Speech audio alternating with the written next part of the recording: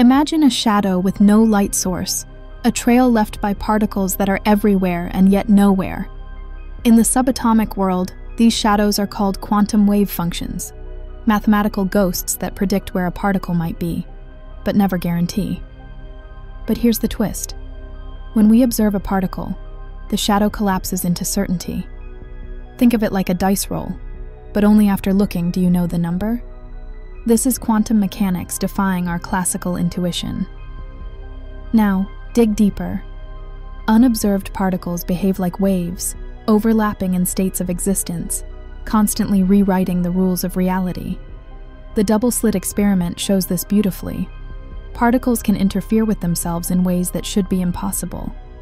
These shadows reveal the probabilistic backbone of our universe, where reality isn't fixed until we observe it. Mind blowing, isn't it? For more groundbreaking explorations of existence, subscribe to Hyperfocus. I'll see you in the unseen.